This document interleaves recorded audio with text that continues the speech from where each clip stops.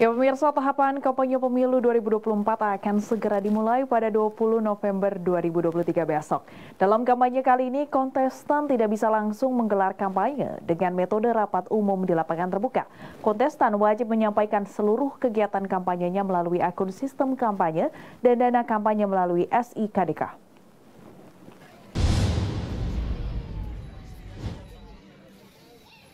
Ketua KPU Kota Denpasar Dewa Ayu Anggraini mengatakan, dalam tahapan kampanye yang dimulai pada 28 November 2023 esok, kontestan peserta pemilu 2024 hanya bisa melakukan sosialisasi di antaranya penyebaran alat peraga kampanye kepada warga dan media sosial serta rapat terbatas.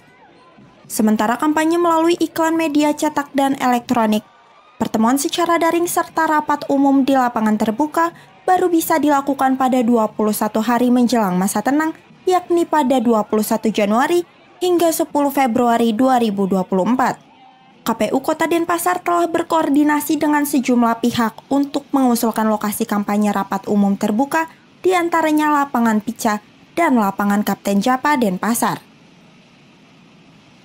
Jadi nanti semua akan dilaporkan kegiatannya itu melalui SIKADK. Kemarin baru dibuat akun, baru diinput e, nama-nama pelaksana kampanyenya. Untuk kegiatannya tentu akan dilengkapi ke depan melalui SIKADK semua dilaporkan. Untuk rapat umumnya, ya. Ya, untuk rapat umum, kemudian iklan media cetak, media elektronik, dan juga pertemuan melalui daring atau dalam jaringan, itu dimulai 21 Januari sampai 10 Februari. Seluruh proses dan kegiatan kampanye yang akan dilakukan peserta pemilu serentak 2024 wajib disampaikan pada akun sistem kampanye dan dana kampanye melalui SIKADK. Diharapkan dalam masa kampanye kali ini peserta tidak hanya mengkampanyekan peserta pemilu, tetapi juga mengedukasi warga untuk mensukseskan pemilu 2024 berjalan baik, lancar, aman, dan damai.